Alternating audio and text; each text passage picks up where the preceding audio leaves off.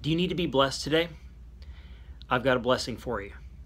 This is going to be good.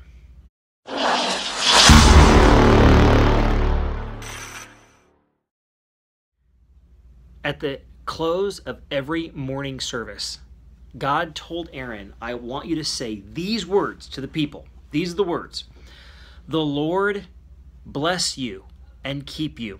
The Lord make his face to shine upon you. And may he be gracious to you. The Lord lift up his countenance upon you and give you peace. This blessing is for you today. Let's look at it. First, he says, May the Lord bless you. All of life is futile without God's blessing, and every blessing comes from God. We want a life of ease, comfort, and pleasure, but you know what? Better than that is blessing from God, and it doesn't always look like getting your way. But then he says, And may the Lord keep you that means may God keep you from sin, idolatry, greed, from your own heart, your own self. God can do that. No one else can do that.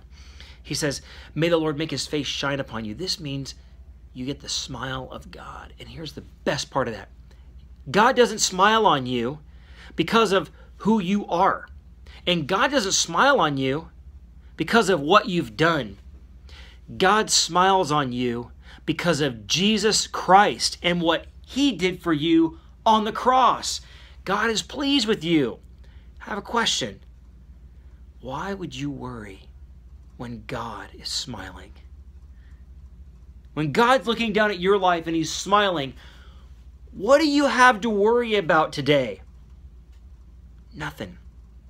And he says this, and may God be gracious to you. He says, May his tender mercies be evident in your life, and may his countenance be upon you. And what that means is this He says, May God look at you, and may you feel his gaze. May he give you peace. This is the Hebrew word peace, which means shalom. It doesn't mean cessation of hostilities only. It does mean that, but in addition, it means wholeness of life. Like you're totally complete in Christ. In this passage here, you see the Lord is mentioned three times. Maybe because there's the Father, the Son, the Holy Spirit. And you are mentioned six times because you are the focus of God's love, His attention, His blessing. God blesses you. This blessing is for you today. Know that God loves you. He's pleased with you. He's keeping you today.